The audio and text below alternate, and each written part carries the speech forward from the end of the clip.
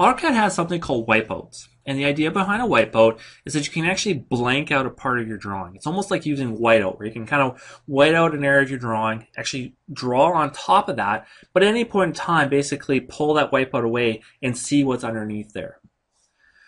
Now, what I'm going to do here is I'm going to come into my layer box here, and I'm going to add um, a new layer just so we can put our wipeouts just on this layer um, in particular.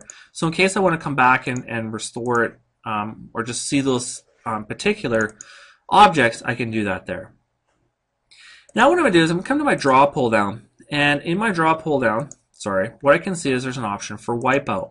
Now what I'm going to do is come in here and it's almost like drawing a polyline. I'm going to say, well, I want that object to go from here to there. Notice the, the preview. I'm going to come up here, go to there, go there.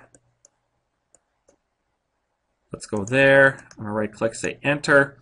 And notice how it's put that wipeout in there and it's actually blocking the objects behind it.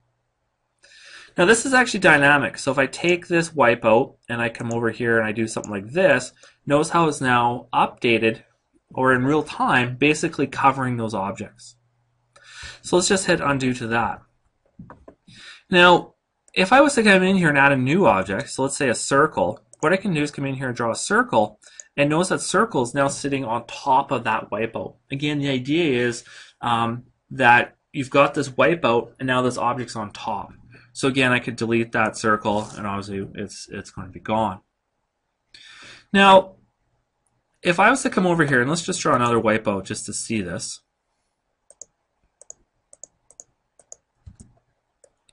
And I was to come in here and do a plot preview. So let's just go to the uh, my PDF plotter here. We'll do display and we'll click preview.